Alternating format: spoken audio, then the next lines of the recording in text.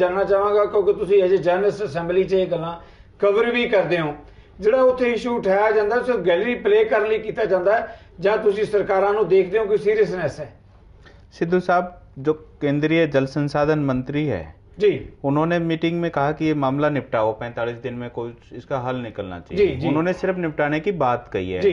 उनकी बात कहने से ही इतना हल्ला और इतनी विवाद राजनीति में खड़ा हो गया। इतना हो गया और दूसरी बात है कि उसमें उधर से पंजाब से भी जो बयान आ रहे हैं चाहे वो पंजाब के एक्स सीएम का बयान हो जी। या इधर से उनका हो तो इतना उसमें बयान में इतनी गर्मी है। लगता नहीं कि वो इस पर गंभीर और दूसरा ये होता है कि जब विधानसभा का सेशन होता है या चुनाव का समय होता है जब ज़रूर इस बात को बड़ी प्रमुखता से उठाते हैं लेकिन होता कुछ नहीं है। लेकिन अब ये देखना ये है कि जैसे इधर श्रोमणी अकाली दल और भाजपा है इधर हरियाणा में भी बीजेपी सरकार है केंद्र में भी है। अब देखना ये कि इस मामले में कोई सहमति बनती या नहीं बनती।